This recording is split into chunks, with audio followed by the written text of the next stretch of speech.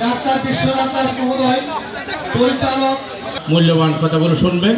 একটি কথা বলে আমার তবে আমি আসব রেলপথ মন্ত্রণালয় সম্পর্কিত সংসদীয় স্থায়ী কমিটির সভাপতি A B M Fazle Karim Chowdhury MP হই শেখ হাসিনা যতদিন বাঁচি থাকিব ততদিন দেশ নিরাপদ থাকিব শেখ হাসিনার হন বিকল্প নাই। বাংলাদেশত জননেত্রী শেখ হাসিনার বিকল্প নাই এবং যতদিন জননেত্রী শেখ হাসিনা বাঁচে থাকব বাংলাদেশ নিরাপদ থাকব।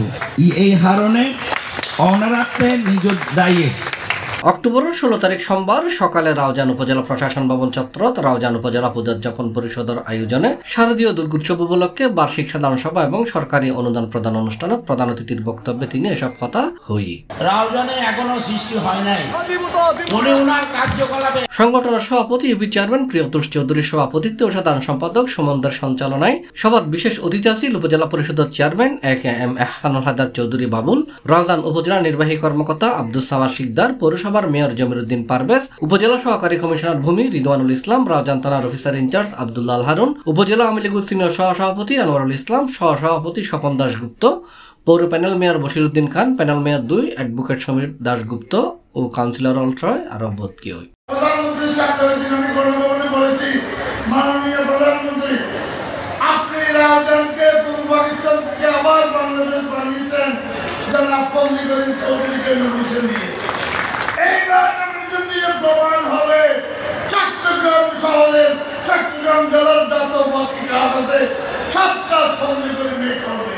আন্তরিকতার সহিত আয়োজন করব বলে আমাদেরকে আশ্বস্ত করতে চাই। আমাদের উপজেলা প্রশাসনের পক্ষ থেকে আমাদের এই দুর্গাপূজায় সকল ধরনের সহযোগিতা আমাদের প্রশাসনিক সহযোগিতা বলেন, আইন শৃঙ্খলা সম্পর্কে সহযোগিতা বলেন, সকল বিষয়ে আমরা চব্বিশ ঘণ্টা রেডি থাকব। আপনারা আমাদের এই বড় দুর্গা উৎসবটা নির্বিঘ্নে পালন করতে সাংসদ A B M Fazle Karim Chowdhury একই দিন বিকালে নোয়াপাড়া পুলিশ ফাঁড়ি কমপ্লেক্সের দক্ষিণ রাউজান পূজোজ্জাপন পরিষদ আয়োজনে সরকারি অনুদান প্রদান অনুষ্ঠানত প্রধান অতিথির বক্তব্য রেখে সংগঠনের সভাপতি প্রকাশ সরকার এবং সাধারণ সম্পাদক মেলকম চক্রবর্তী ও উদয় দত্ত অর্কর যৌথ সঞ্চালনায় সভাত বক্তব্য রেখে রাউজান উপজেলা পরিষদের chairman A K M Ehsanul Haider Chowdhury Babul Dilip Kumar Majumder উপজেলা সহকারী কমিশনার ভূমি মোহাম্মদ রিদওয়ানুল ইসলাম, থানার ভারপ্রাপ্ত কর্মকর্তা আব্দুল আল হারুন, ডাক্তার বিশ্বনাথ দাস আরও বোধ কি হই এছাড়াও সভাত জেলা উপজেলার পূজা কমিটির নেতৃবৃন্দ, ইউপি চেয়ারম্যান উপজেলা আওয়ামী লীগ যুবলীগের নেতৃবৃন্দ উপস্থিত সম্মানিত সভাপতি সভাপতি বাবু চৌধুরী আমাদের মাঝে উপস্থিত নেতা এমন কোন থানা নেই যেখানে পূজা হয়। শুধু আজকে ওনার কারণে দুশো আমাদের মাননীয় পুলিশ সুপার বলেছেন চট্টগ্রাম জেলার সবচেয়ে বেশি পূজা মণ্ডপ, সেটা হলো রাউজানে। রাউজানের টোটাল দুশো পঞ্চান্নটি, দুশো তেত্রিশটা হলো পূজা মণ্ডপ, আর কিছু আছে, একুশটা আছে গড় পূজা। গড় পূজাগুলো প্রত্যেক উপজেলাতে কিন্তু গড় পূজা সহ হিসাব করে দিছে। আমাদের গড় পূজা বাদ দিয়ে শুধু পূজা দিছে আমরা দুশো তেত্রিশটা। তো গতবারও মাননীয় পুলিশ সুপার স্যার সহ বিভিন্ন সিনিয়র অফিসাররা এখানে আসছে পূজা দেখতে। এবারও এমপি স্যার আসবেন। এটা আমরা উদযাপন করতে যাচ্ছি। প্রতীকী মিল আছে ওনার সাথে।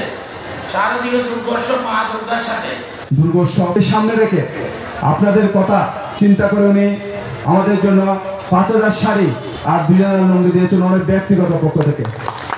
আমি বিশেষ করে বেশি গর্ব করি এর জন্য আমি ছোটবেলা থেকে আমার যে ভাইকে আমি দেখেছি আমাদের যে এমপি মহোদয় আমরা ছোটবেলায় একই সভাত সাংসদ A B M Fazle Karim Chowdhury প্রত্যেক মণ্ডপের পক্ষত্বন একশো সতেরো বার সম্মাননা স্মারক তুলে দেওয়া হয়। সভা শেষে প্রত্যেক মণ্ডপের কমিটির নিকট সরকারি অনুদান তুলে দেওয়া হয়। শিক্ষক প্রিয়রঞ্জন চৌধুরী এরপর গ্রহণ করবে সি প্লাস চট্টগ্রাম।